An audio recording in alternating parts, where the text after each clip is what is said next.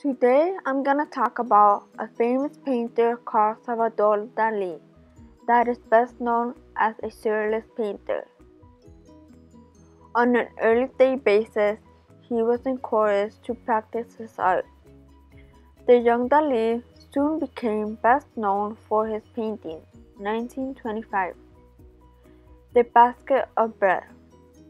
The following year, Salvador joined the Surrealists and soon became the leader of the Surrealist movement on the same year, 1925. Thanks to Gala, the one who stole Salvador Dali's heart. As mentioned, Gala was the woman Salvador married, and it was said that both Dali and Gala escaped together from Europe during World War II to the United States. Dali mentioned that these were very important years for him because the Museum of Modern Art, located in New York, gave him his first major retrospective. When Dali moved away from Surrealism, he began his series of 90 large canvases, scientific, historical, or religious themes. Some of his works are The Face of War, 1940, and The Burning Giraffe of America, along with The Sacrament of the Last Supper. It is said that Dali worked in all media, oil, watercolors, drawings, graphics, and sculptures, film, and photographs. One of his all-time famous paintings was The Persistence of Memory, 1931, which is one of the best surrealist works Dali has focused on often called just clocks. But what do all these distorted clocks have behind? The mountain on the distorted clock symbolizes the irregular passage of time that's experienced while dreaming.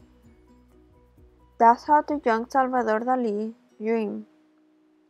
If we look at the art through the perspective of a dream state, the restored clocks don't have any power in the dream world and are melting away because of that. Dali illustrates how useless, irrelevant, and unpredictable our normal concept of time is inside the dream state.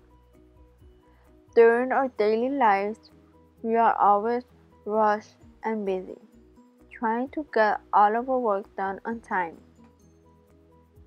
If we take the word persistence in the title, the persistence of memory, this means that the clocks are memory. Memory itself is not even possible. That's what the red watch on the left corner cover ends mean. No matter how hard we work on remembering something. The possibility of trying to remember is just not possible. Marxism is described as class struggle, but all or no materialism have value. The clocks are the material, the platform in which the tree rests and the blue platform on the upper right both represent class standing. Furthermore, the working ants that are in the red watch are trying to get the watch case open. The landscape that is shown in the persistence of memory symbolizes Dali's hometown from his childhood remembering of his surroundings. The young artist hasn't visited ever since his childhood. The egg that lays on the distant shore is the symbol of life. The egg also has a symbol of the journey of hard work during the surrealist period of Salvador Dali. The white figure on the floor has shadings in the entire body. This is portrayed to be a self-portrait of the artist for his funny looking. The white figure is also missing parts. The only thing you can tell is that it has eyelashes and a nose that has a solid form.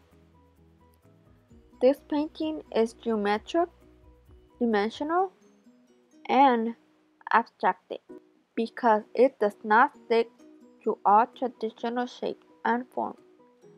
The persistence of memory covers warm colors such as yellow, gold, black, and brown. But there are also cool colors blue, white, and silver. The message that Dali is trying to share is that life is fast and full of choices, which sometimes bring unforgettable things, but we tend to move on. Salvador had a younger sister whose name was Ana Maria. Ana Maria was a teenager. Dali would be, do paintings of her such as this one, where she was painted from behind, often gazing out at the view from their seaside holiday home in Cadaqués. She recalled that she did not mind how long she sat for him and that the experience gave her a lifelong love for the landscape of the view. Here's how I have created my own piece of work. The way I can see my point of this drawing is kind of funny. You may laugh. So here's what I drew. A tree, apparently with money on it, and in one side I have a sun and the beach in a city. On my left side, I have clouds with thunderstorms lately. On the left cor corner, there is a picture of me getting work done and tending to be busy and stressed about life. My interpretation of this is that if money grew from trees, I would be traveling constantly without worrying about life and basically enjoying life. But instead, I'm at the point where none of that can come true. So, in order for that to happen, I have to work hard towards my goal in order to get there because life is not easy. On what year did Salvador Dali became the leader of the Surrealist movement? Correct answer 1925.